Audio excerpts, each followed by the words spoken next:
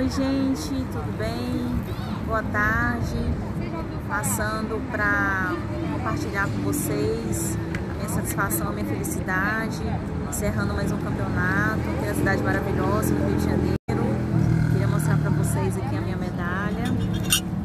Campeã do, da categoria absoluto, azul, Master 2 e vice-campeã na categoria leve, azul, Master 2 para casa com esse resultado maravilhoso, é, graças a Deus sem nenhuma lesão.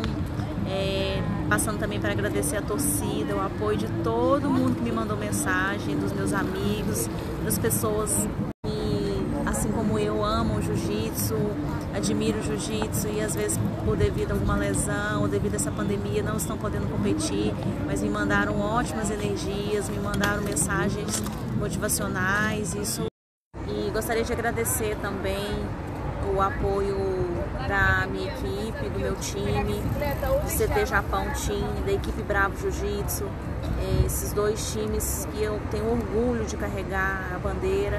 Agradecer também aos meus parceiros de treino, todos, sem exceção. Vocês são primordiais para a minha evolução, para o meu crescimento.